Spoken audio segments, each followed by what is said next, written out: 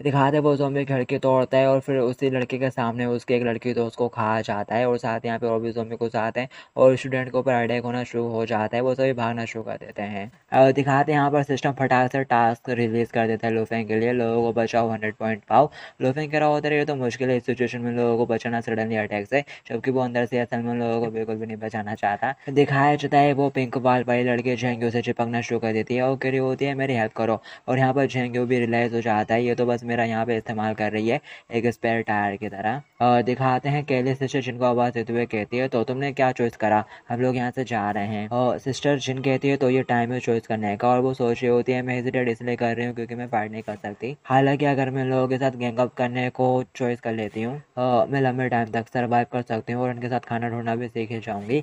और फिर दिखाया जाता है यहाँ पर सारे जोम्बिस पिंक बाल वाले लड़के और उस झेंगियों को भी घेर लेते हैं। दिखाया जाता है वो पिंक बाल वाली ज़ोर ज़ोर से रोना शुरू कर देती है। झेंगे उसे कह रहा होता है जो बेचलो अपन लोग भी उनके साथ मिल जाते हैं। चिंता मत करो, मैं तुम्हारे लिए खाने के लिए ढूंढिया करूँगा।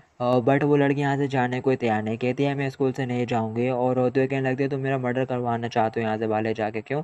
दिखाया जाता है वो लड़का उसको पहले कुछ कहता है, यहाँ पर जोम्बिस उनके ऊपर अटैक करने लगते हैं। तो वो लड़की उसके ठीक पीछे छिपक के खड़ी हो जाती है और कह रही होती है, ज़रा संभल कर वो आ रहे हैं। और फिर दिखाया जाता है वो लड़की इतनी कमी नहीं है कि झेंगू को ही धक्का दे देती है। कह रही होती है, मेरे को नहीं मानना। और झेंगू बेचारा उन जोम्बिस की तरफ़ चला जाता है। और झेंगू को, और झेंगू यहाँ पे सोच रहा होता है, जिस वूमेन को मैं इतने टाइम से प्रोटेक्ट कर रहा था, उसने आखिर में मेरे साथ ऐसा कर दिया।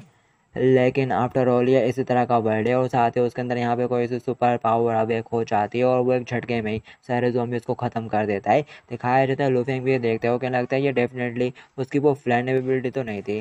दिखाया जाता है। ये देख के वो पिंक बाल वाले भी काफ़ी ज़्यादा चौक जाते हैं। दिखाते झंग्यू लूफेंग से कहता है, और लूफेंग मैं तुम्हारे साथ चलूँगा, मेरे को यहाँ से जाना है। और साथ ही वो रोते हुए कहता है, मेरे को तुम्हारी तरह एक स्ट्रॉन्ग मैन बनना है।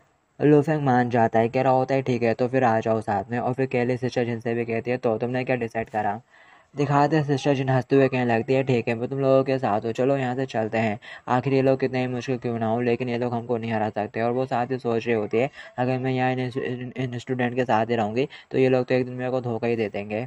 दिखाया जाता है उस पिंक बाल वाले को कुछ जोम्बिस पकड़ लेते हैं और वो चलाते हुए झेंगियों को आवाज़ लगाने लगते हैं कि यहाँ मेरे पास आओ और मेरे को बचा लो बट यहाँ पर झेंगियो उसकी कोई मदद नहीं करता। सख्त लौंडा बन गया है वो भी लुफेंग की तरह और अपने घटिया लवर को जोम्बिस के हाथों से ही मरने देता है वो यहाँ पर।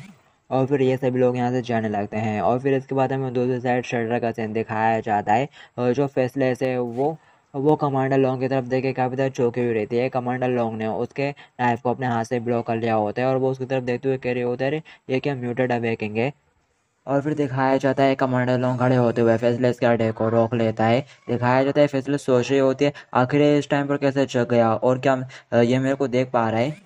और फिर दिखाया जाता है फैसले थोड़ा पीछे हटती है और लॉन्ग चलाते हुए अपना सर पकड़ लेता है। ये देखे फैसले सोचने लगती है। लगता है कि मेरी अभी बेटी अभी भी इसके ऊपर काम कर रही है। ऐसा लगता है कि इसने बस एक्सीडेंटली मेरे नाइफ को पकड़ लिया था। और फिर दिखाया जाता है कमांडो लॉन्ग इसी तरफ़ नाइफ फेंके मारता है, वो साइड होती हुई बच जाती है। और सोची होती है कि इसको अभी भी मेरे बारे में याद है? आखिर यहाँ पे हो क्या रहा है? आखिर इसके पास कौन सी एबिलिटी को हो गई है? और फिर हमें दिखाया जाता है कमांडर लॉन्ग को, जो कि सोच रहा होता है कि चल क्या रहा है? आखिर ये औरत क्यों है? और उसके बगल में वो बंदी खड़ी हुई, उसकी तरफ़ पॉइंट क्यों कर रही है? और फिर दिखाया जाता है कमांडर लॉन्ग उस बच्चे की तरफ़ देखे काफ़ी तरह चौक जाता है, कहने लगता है ये तो लिटिल गर्ल है। और वो सोच रहा होता है, लेकिन आखिर इस तरह की क्यों दिख रही है?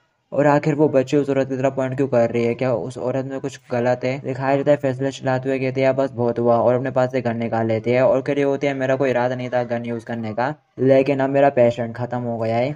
और फिर उसकी तरफ़ गन पॉइंट कर देती है और कहती है, हालाँकि मैं नहीं जानती कि तुम्हारे पास किस तरह की पावर अवेक हुई है, लेकिन मेरे मिशन के लिए तुमको मारना ही बेहतर होगा। दिखाया जाता है कमांडर लोग उसके बाद सुन के कह रहा होता है क्या पावर और साथ ही वो अपना हाथ दिखाते हुए कहता है, हालाँकि मेरे को नहीं पता कि तुम हो कौन, मैं नहीं जानता, लेकिन ऐसा लगता है कि मेरी स्ट्रेटेजी यहाँ पर कामयाब हो गई है, ज़रा देखो। और फिर दिखाया जाता है, उसने अपने हाथ को कुछ लेकर रखा रहता है, जिसे देख के फैसला चिल्लाना शुरू कर देती है।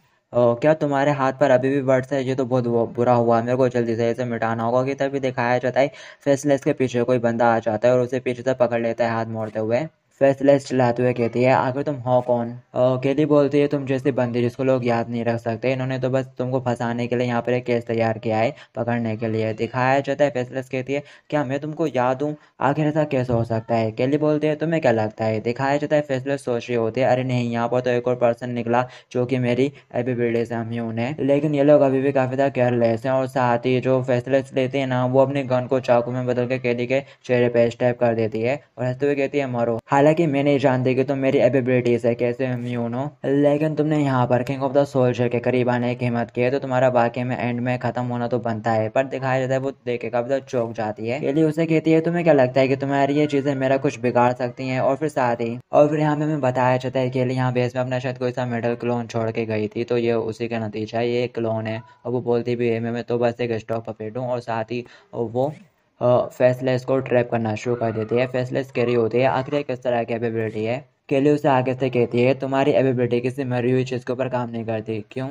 और साथ ही वो कमांडर लॉन्ग से कहती है, इसको सील करने के बाद मेरा ये स्टॉक पपेट डिसअपेयर हो जाएगा। कमांडर लॉन्ग कहता है, ठीक है, समझ गया। और और फिर दिखाया जाता है, केले का क्लोन फेसलेस से पूरा चिपक जाता है। यहाँ पर मेडल के पन्ने टाइप का कुछ बन जाता है, जिसमें फेसलेस बुरी तरह से ट्रैप हो जाती है। और केले का वो क्लोन या केलो पपेट गायब हो जाता है। कमांडर लॉन्ग फेंसलेस की तरफ़ देखते हुए कहता है, क्या ये है पावर उसके तो काफ़ी ज़्यादा खतरनाक है। और साथ ही वो उस लिटिल गर्ल की तरफ़ देखते हुए कहता है क्या ये इल्यूजन में किसी तरह की पावर है? और फिर साथ ही सिंह शिफ्ट हो जाता है अपने लोफेंग की तरफ़। जो कि सबवे स्टेशन के एंट्रेंस के ऊपर खड़े हुए रहते हैं, कोने में बैठे हुए रहते हैं और यहाँ पर जो लूफेंग है वो उन दोनों की डिटेल्स देख रहा होता है। सिस्टर जिनके बारे में देख के वो सोच रहा होता है, अरे, ये तो बिल्कुल केली का कमज़ोर वर्जन की तरह लगती है, लेकिन काफ़ी ईवल है। टेंशन के अंदर कुछ डार्क चीज़ें हैं, ये शायद उनको हैंडल कर सकती है। और फिर वो जोयो के बारे में देखता है। और कहने लगता है, इसके बाकी में जो एबिलिटी है, वो फ्लैन एबिलिटी नहीं है। उसने अपनी उस एबिलिटी का यूज़ करते हुए उन जोमीज को एकदम पाउडर बना दिया था। ये एक फ्रेंडली मैन हो सकता है मेरे फ्यूचर में। और फिर साथ ही लोफेंग कह रहा होता है, ऐसा लगता है कि मेरा तो लॉटरी में ग्रैंड प्राइज निकल गया है। इस एंड ऑफ़ द वर्ल्ड में जितने भी लोगों से मेरा सामना हुआ है उसमें से सबसे ज़्यादा स्ट्रॉन्गेस्ट एबिलिटी मेरे को तो इसी की लगती है। और साथ ही लोफेंग सोचा होता है जिन्होंने तो वाकई में कोई सिंपल नहीं है। और वो तो बहुत ही ज़्यादा औसम है। ऐसा लगता है कि मेरे हाथ खजाना लग गया है। और फिर साथ ही वो जुनू का आवाज़ आता है, कह रहा होता है कमोन यहाँ पर आओ और अपनी एबिलिटी का यूज़ करते हुए इस आयरन डोर को ओपन कर दो। और फिर झाओ यूडोर को देखते हुए कहता है, क्या इसको अनलॉक करना है? और फिर वो लुफिन से कहने लगता है, लेकिन मेरे पास तो बस फ्लाइन एबिलिटी है। लुफिन क्या होता है, खुद को इतना कम मत आको यार। चलो, मैं तुमको एक तरीका सिखाता हूँ। उस पर्सन के बारे में इमेजिन करो, जिसे तुम सबसे ज़्यादा नफरत करते हो। दिखाया जाता है सिस्टर जन उसकी तरफ़ देखते हुए कह होते हैं के लिए आखिर लोग क्या कर रहे हैं? केली बोलती है, आखिर हुआ क्या? दिखाते वो लुफिन की तरफ़ देखते हुए कहने लगती है, हालाँकि इसका जन्म भी एक स्पैर टायर के तौर पर ही हुआ है। फिर भी ये कितना ज़्यादा भयंकर रेड करता है। दिखाया जाता है सिस्टर जिनके पास उनके के लिए थोड़ा गुस्सा हो जाती है और कह होती है, उसके ऊपर डाउट मत करो। वो भले दिखने में थोड़ा वेज आए, लेकिन वो एक ऐसा पर्सन है जो चमत्कार कर सकता है। और फिर दिखाया जाता है लुफेंग उससे कह रहा होता है तो अब बताओ तुम्हें कैसा फील हो रहा है? और फिर दिखाया जाता है वो लुफेंग की बात आ, सुनने के बाद सबसे हेडेड पर्सन को याद करता है जो कि और कोई नहीं वही पिंक बाल वाली लड़की होती है। दिखाया जाता है उसको सोचते से उसकी पावर एक्टिवेट हो जाती है वो डिस्ट्रक्शन वाली और देखते देखते वो पूरे गेट को उड़ा देता है। दिखाया जाता है केली और सिस्टर जिन भी देखते हैं वो में धमाका होता है। और गाइस बस इस एपिसोड का आप लोग यहीं पर एंड करते हैं। बाकी के स्टोरी आप लोग नेक्स्ट एपिसोड में जानेंगे। जब तक के लिए आप मेरे चैनल पर मौजूद बाकी सीरीज़ को चेकआउट कर सकते हो। यहीं पर एक वीडियो और एक प्ले लिस्ट भी दिख रहा होगा। तो ज़रूर से क्लिक करके देख लेना। मैं मिलूँगा इसे के नेक्स्ट पार्ट में फिर आप लोगों से। जब तक के लिए टू बी कंटिन्यूड